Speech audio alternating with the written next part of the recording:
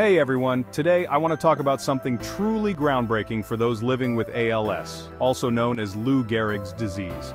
ALS is a tough battle, causing muscle weakness and paralysis as motor neurons deteriorate. But there's exciting news on the horizon. Stem cell research is providing new hope. Stem cells have the unique ability to regenerate damaged tissues. In the context of ALS, scientists are exploring how these cells, particularly induced pluripotent stem cells, or iPSCs, and mesenchymal stem cells, or MSCs, can repair or replace the motor neurons that control muscle movement.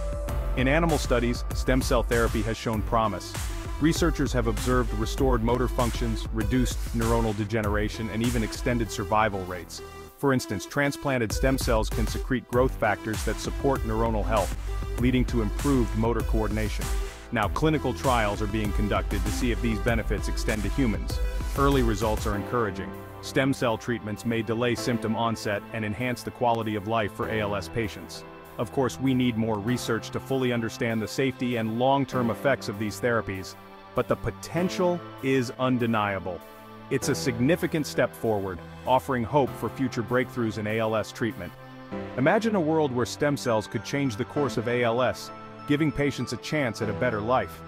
As we continue to support this vital research, the dream of turning these scientific advances into real-world treatments becomes more tangible.